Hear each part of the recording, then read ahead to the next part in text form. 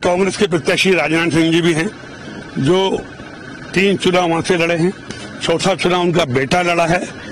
और इसलिए राजनाथ सिंह को मैं कमज़ोर कैंडिडेट नहीं समझता, मानदाता के लिए। लोकसभा तो वो हारेंगे, लेकिन क्योंकि मेरी जवाबदारी मानदाती की है, और वो तीन चुनाव वहाँ से लड़े हैं। एक चुनाव बेटा लड़ा है, और लगातार पुराने नेता हैं, उन्नीस के। इसलिए मेरी विधानसभा से मैं उनको कमज़ोर नेता नहीं मानता।